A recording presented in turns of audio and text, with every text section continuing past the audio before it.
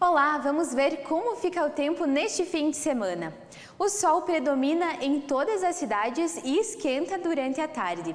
A circulação de ventos quentes que vêm do norte do país acabam aquecendo a massa de ar seco que está atuando aqui na nossa região, deixando as temperaturas muito mais elevadas. Vamos ver como ficam.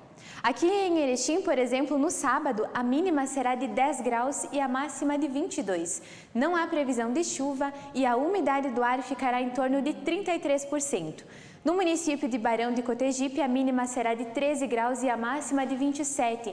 E no município de Marcelino Ramos, a mínima será de 15 graus e a máxima de 30. Já no domingo, aqui em Erechim, a mínima será de 11 graus, a máxima de 25, não há previsão de chuva e a umidade do ar ficará em torno de 29%. Em Barão de Cotegipe, a mínima será de 14 graus e a máxima de 29. E lá em Marcelino Ramos, a mínima será de 16 graus e a máxima 32. Nós lembramos, mais informações e também outros detalhes sobre a previsão do tempo você confere no nosso site.